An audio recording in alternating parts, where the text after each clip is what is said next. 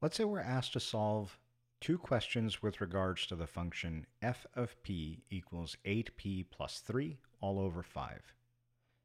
On the left-hand side, we're tasked with finding f of 9, and on the right-hand side, we're tasked with finding the solution to the equation f of p equals 2. These are two similar looking but extremely different questions.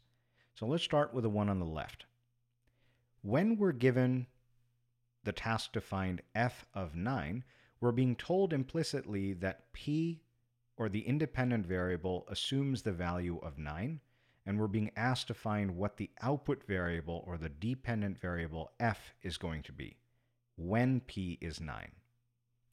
So notationally, we replace the p's in the equation with the number 9. We write f of p as f of 9, and 8 times p turns into 8 times 9, while the 3 and the 5 just come along for the ride. At this stage, we recognize that 8 times 9 is 72, so that expression simplifies to 72 plus 3 all over 5. And then 72 plus 3 in the numerator simplifies to 75, and 75 divided by 5 reduces to 15. Now what this means is when the input of the function is 9, the output of the function is 15.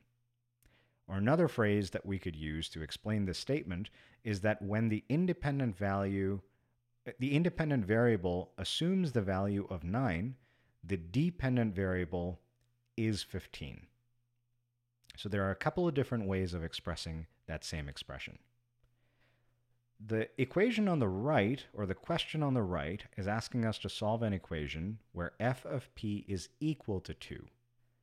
This is different to the one on the left because here, instead of being given the value of the independent variable, we're actually told what the output of the function is, and we're being asked to back into what the input would have been. Now, one option here is to just randomly pick and choose values of p until 8p plus 3 over 5 turns out to be 2.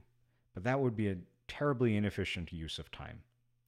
What we can do is leverage our understanding of function notation, which is to say that if f of p is equal to 2, we ought to be able to replace it with the number 2. Now this is a very simple linear equation that we've solved many, many times before. We can start by multiplying 5 on both sides, and that gives us a 10 equals 8p plus 3.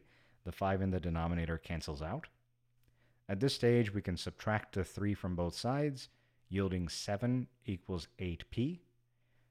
Finally, to get p by itself, we can divide the 8 over to the left-hand side, giving us p equals 7 over 8. What this means is that when we take 7 over 8 as the independent variable and we plug it into f, the output of the function is going to be 2.